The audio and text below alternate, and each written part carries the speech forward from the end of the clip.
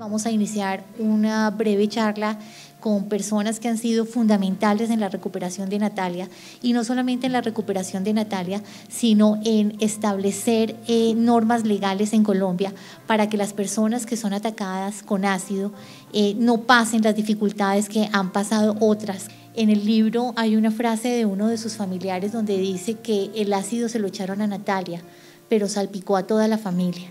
Yo creería que salpicó a todo el país.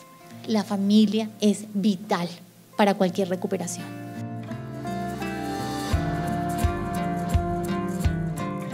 El momento más difícil fue cuando vi a Natalia cayéndose la piel en mi cara y no entendía qué estaba pasando realmente.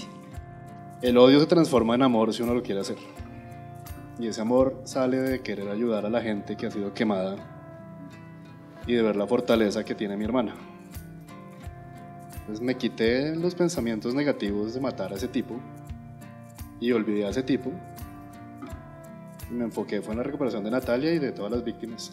Esto no es un caso de agresión común y corriente, sino que esto es un atentado contra la vida de estas personas. El gobierno necesita estar a la altura para atender estos casos. Estamos en un país de la indiferencia, un país machista, una sociedad de odio, porque estos son delitos de odio y sobre todo delitos contra la mujer.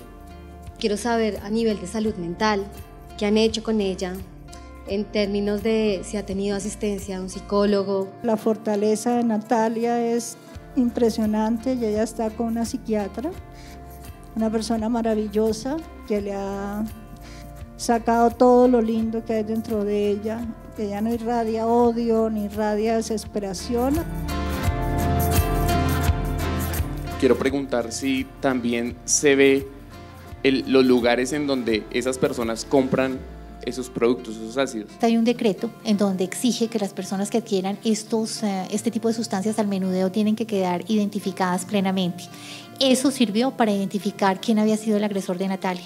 El 15 días después de que Natalia hubiera sufrido ese ataque, Julie fue a un almacén de cadena y compró el mismo ácido que, con el que quemaron a su hija sin ningún tipo de restricción. En nombre del Politécnico Gran Colombiano, muchas gracias a nuestros invitados.